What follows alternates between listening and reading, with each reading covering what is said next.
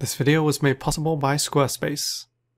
Have you ever wondered what the most used Pokemon are in terms of playthroughs? Not the ones used in competitive, but Pokemon you're most likely to see in someone's in-game team.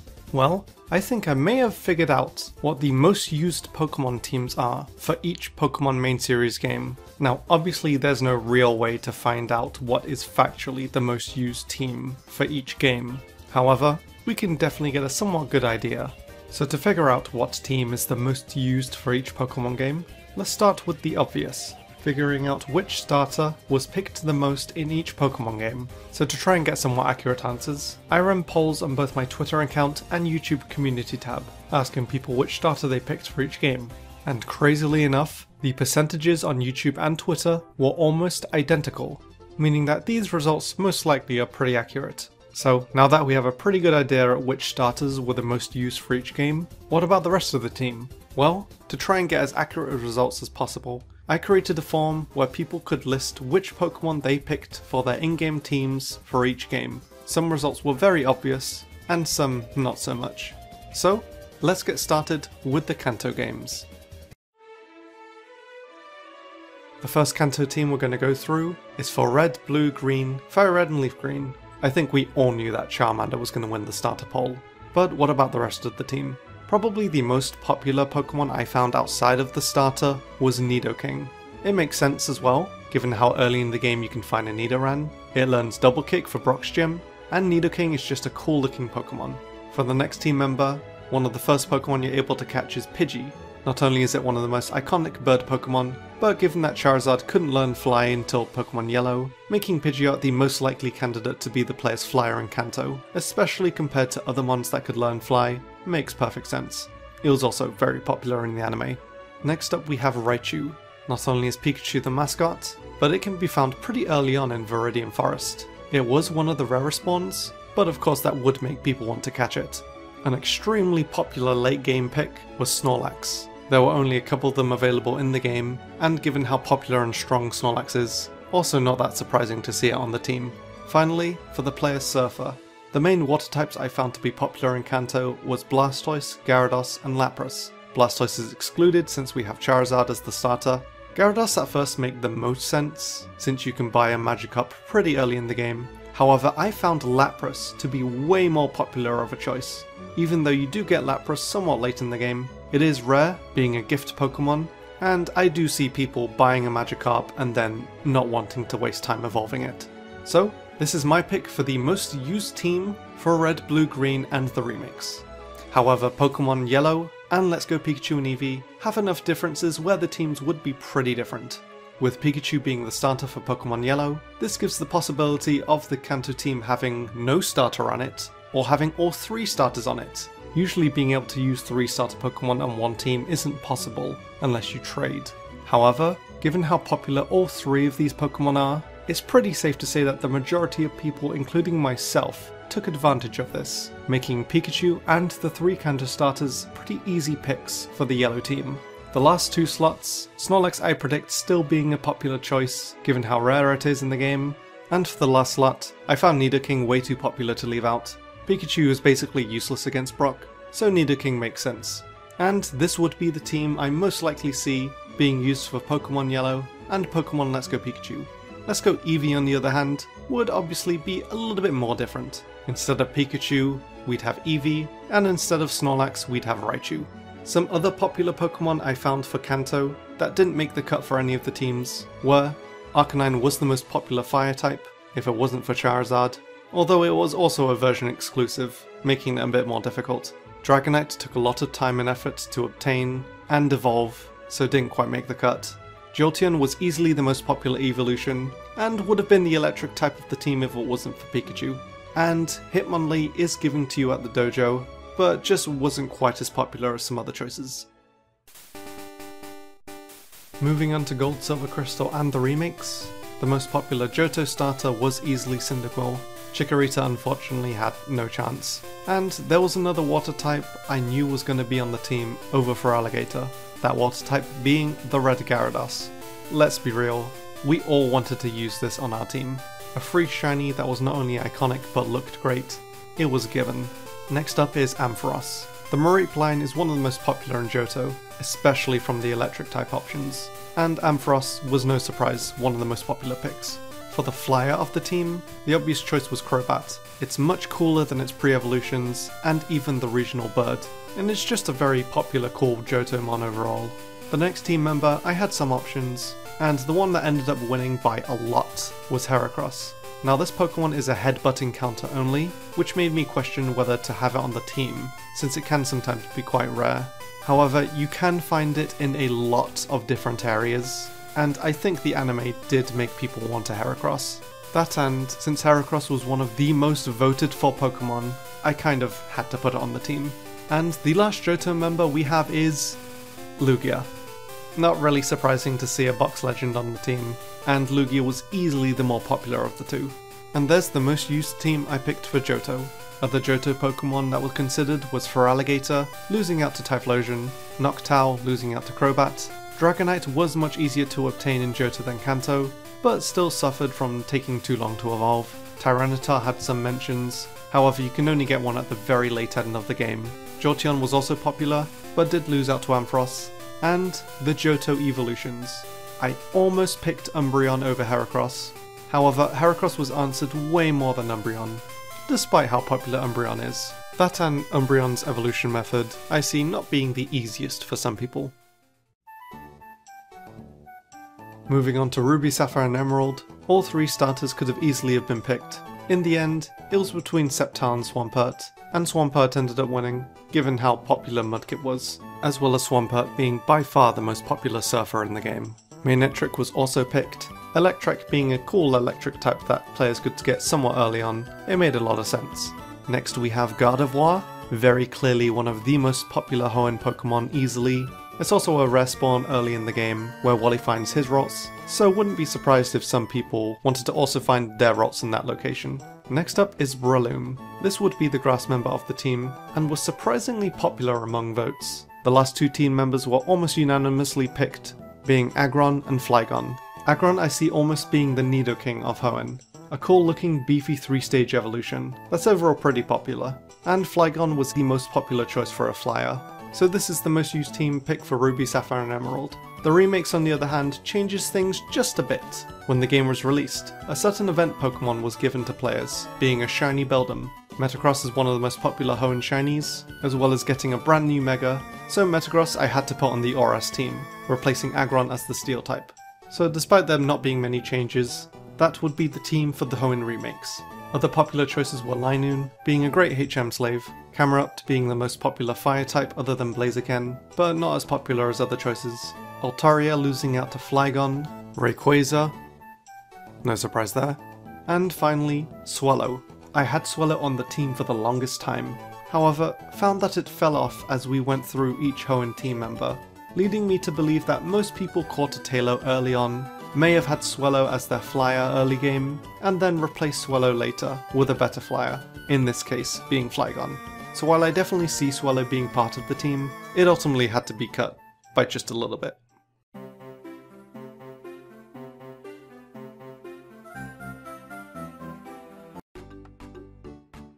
For Black and White, it's a pretty interesting case. The most popular Unova starter overall was Oshawott, so we start with Samurott. I did consider the regional bird being Unfezant, however found it was definitely not the most popular flyer of the team. Instead, Archeops was picked. I found it to be by far the more popular fossil, and the most common pick when it came to a flyer. Fossils are pretty easy to get in the game, so it made sense that people picked Archeops. Additionally, Zebstrika was also pretty popular, being an early electric type you could find in Unova, a bit more so than the other electric type options. Next up is Krookodile, easily one of, if not the most popular Pokemon according to my survey, and in general. I'm pretty sure it was the most voted for Unova. Two fire types that really stood out were Darmanitan and Chandelure, but in the end, Chandelure just edged out. It's a pretty unique design that's still loved by players. And for the last team member, Haxorus was definitely a popular choice. Not really surprising it ended up being on the team. So this is the team for Black and White 1. Black and White 2 definitely changes things up. Samurott is still the starter of choice. However, unlike the Black and White games, Black and White 2 had quite the number of past generation Pokemon available near the beginning of the game, which definitely influenced a lot of people's teams. The first and most obvious one being Riolu. Players, including myself, really wanted Lucario on their team, and since almost every Black and White 2 team I saw had Lucario, this was a pretty easy pick. Another popular past generation Pokemon available in the same area as Riolu was Mareep leading to Ampharos being the electric type of the team. For the fire type, I was surprised to see that Arcanine was picked the most. It was again another past generation Pokemon, available somewhat early in the game, and was apparently used by a lot of people. A Pokemon returning from the Black and White 1 team is Krookodile, still one of the more popular Unova Pokemon, and also still one of the most voted, no surprise there. And the last team member is of course Zoroark. This Pokemon wasn't really available to players to have on their team in the first Black and White, but it is in the sequel, and given how iconic Zoroark is, no surprise it was a popular choice. And that's the team for Black and White 2.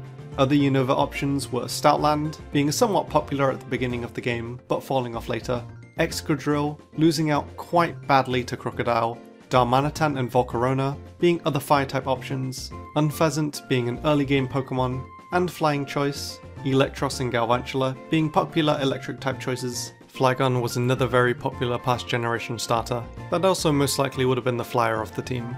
And Seismitoad. Shockingly. Now before we continue, I want to talk about today's sponsor, Squarespace. If you're looking to start your own brand or business online, Squarespace is the best place to do it, and stand out by creating your very own website. Squarespace's all-in-one platform gives you almost endless ways to customize your own brand to look as sleek and as professional as possible. The site gives you a bunch of templates to start out, with according to whatever site you're making, whether it be gaming, music, or pretty much anything you want. You're able to adjust the site to how you want it to look, adding text, images, buttons that do stuff, and even better, you're able to see what your site will look like on a computer or mobile. There's no place that makes creating a brand new professional website easier. So, go to squarespace.com to start a free trial, and if you use the promo code AURA signing up, you'll save 10% on your first purchase of a website or domain. Thanks so much to Squarespace for sponsoring this video. For X and Y, Greninja and Charizard were overwhelmingly the most popular first and second picks it wasn't really close. So not surprising they're the first two on the team. Next we have Lucario yet again, is gifted to us in the game, as well as being our first Pokemon that we Mega Evolve. One of the most voted Pokemon for sure. Aegislash is also added to the team, another very popular Pokemon introduced in X and Y with a fun gimmick. Next up is Tyrantrum, easily the most popular of the two fossils, and I think a T-Rex Pokemon was always going to be popular choice. And for the sixth member of the team, we have the Box Legendary. Both of them were pretty much the top two choices for the last slot, so not too surprising that the Box Legend ends up being the final pick. And here we have the Kalos team. Other popular picks were Talonflame. It was actually really close between Talonflame and Charizard, but ultimately ended up going with Charizard. The event Blaziken that was distributed on release, but again, Charizard. Florges and Sylveon being pretty popular fairy types, and Goodra, having to evolve it at a high level, and specifically in the rain, I see being pretty annoying for people. Onto 7th gen, the most popular Alola starter is obviously Rowlet, giving us Decidueye. The next most likely Pokemon is definitely Lycanroc. It's a popular Alola Pokemon that was advertised quite a bit, and in Ultra Sun and Moon was an early event for us to get the Dusk form, so Lycanroc is a given. Next up we have both the regional bird and the regional bug of the game. Vikavolt and Toucannon were overall mentioned a lot, so I had to add them. Salazzle was easily the most popular fire type, and despite the gender ratio being possibly quite difficult for players to evolve their Salandit, it was still one of the most dimensioned Pokemon, so also made the list. And the last Pokemon was a bit of a toss-up, but the most popular final pick ended up being Kommo-o, not only the pseudo-legend of the game, but was also advertised as our first dragon fighting type, so it made sense that people would have waited to eventually have one on their team. And that is our completed Alola team. Some Pokemon that just missed out on the list was Mimikyu. If there was a seventh spot, it would have definitely gone to Mimikyu. Alolan Raichu being the most popular Alolan form for sure. Golisopod, that would have probably have made the list if Vikavolt wasn't so popular. Mudsdale was also a popular choice, but just missed out. And both the box legends. They were picked a lot for the final slot, but of course lost to Kommo-o. For Sword and Shield, Scorbunny was the clear starter favourite, giving a Cinderace for the team. The most voted Galar Pokemon by quite a margin was Corviknight. It's the regional bird, you can get it pretty early on, and I mean look at it. No wonder it's one of the most popular bird Pokemon ever at this point. Toxtricity was also an obvious pick. It's one of the most popular Gen 8 Pokemon for sure, with two forms for people to choose from. Next up is Grimmsnarl. Impidimp was a very popular Pokemon in the advertisements of the game, so it would make sense that Grimmsnarl would be more popular, even more so than its psychic counterpart. Dragapult is one of the most popular pseudo legends. Usually pseudos don't end up on the team, given how late they're available in the game, and usually takes a lot of levels to evolve. But given Dragapult's amazing typing, design, and the amount of people who picked it, makes sense that it was on most people's team. And the last Pokemon on the team is Drednaw. A bit less popular than the other picks, but was still picked quite a lot. Most likely made popular from the advertisements, since it was one of the first Gen 8 Pokemon we saw. And here is the team for Galar. The runners-up were Boltund, losing out to Toxtricity, Hatterene, losing out to Grimmsnarl, Centiskorch and Coalossal, losing out to Cinderace, and Obstagoon. I'm sure people were excited to see Linoone's new evolution in action. It was between Obstagoon and Drednaw, but I think sharing the dark typing with Grimmsnarl meant that most of the time it wouldn't be on the same team, so barely just got cut. Legends Arceus was probably the hardest Pokemon game to calculate in terms of the most common team, given the variety of generations we had to pick from, but I still got a really good idea. Cyndaquil was the most popular starter according to my starter polls, making Hisuian Typhlosion our first pick. Hisuian Zoroark was one of the first Pokemon I thought was going to make the list. Zoroark is pretty difficult to find, and shares the ghost typing with Typhlosion, but given how popular it is, it made the most sense to also have on the list. Another Pokemon that was very popular was Luxray, not surprising especially how early you can get Shinx in the game, and was overall one of if not the most voted Pokemon. Along with Zoroark, the other most popular Hisuian form was Goodra. Goomy is pretty easy to find in the game, as well as there being an alpha Hisuian Sliggoo that we can come across. Next is Ursaluna. I think people were really happy to see that Ursaring got an evolution, so it made sense that it also made the team. And the sixth pick is Kleavor, Scyther you can get really early in the game, and Kleavor was advertised as Scyther's new evolution, so definitely understand that people wanted to use one. And that is the team that I believe was the most used for Pokemon Legends Arceus. Other popular Pokemon were Staraptor, being available super early in the game, Wyrdeer was also mentioned for fixing Stantler, Hisuian Arcanine, losing out to Typhlosion, Sneasler, being a cool alternative to Weavile, and Garchomp, for obvious reasons. Finally, the most used Scarlet and Violet team. This one was pretty hard to decide on, because it went one of two ways. The starter was between Skeledirge and Meowscarada, with Skeledirge being more popular overall. However, Ceruledge was also one of the most popular Pokemon, and I don't think a lot of people had both Skeledirge and Ceruledge on the same team, given that they share both the same types. So in the end, I decided to go with Skeledirge, as popular as Ceruledge is, it is a version exclusive, even if Violet version was more popular than Scarlet version. And some people didn't even know how to evolve Charcadet without looking it up. So we're going the Skeledirge route. The next team member is Clodsire. You can get Paldean Wooper pretty early in the game, and of course people wanted to see what it looked like, and loved what it became. Probably one of the most popular Gen 9 Pokemon. Another extremely popular Pokemon, and probably the most voted, was Tinkaton. This was a no-brainer. I think everyone would agree. Tinkaton is arguably the most used Pokemon in the game. No question. Next is Kilowattrel. The regional bird is usually popular on most teams. You don't find Wattrel at the very beginning of the game, but it is still a pretty easy find. One Pokemon that was surprisingly popular was Garganacl. Garganacl, however you say it. I didn't expect it to be nearly as popular as it was, but apparently a lot of people had it on their team, so no arguments there. And the sixth member is Baxcalibur. I was pretty skeptical on this, since Frigibax isn't the easiest Pokemon to find, and evolves a bit late, but given that you can technically find it early depending on the route you take, and the amount of people that said that Baxcalibur was their final team member, including myself, it was picked way more than other choices. So, This is the team for Scarlet and Violet.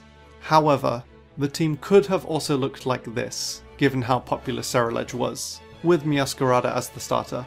So either works, but the Skeledirge team is probably the most popular.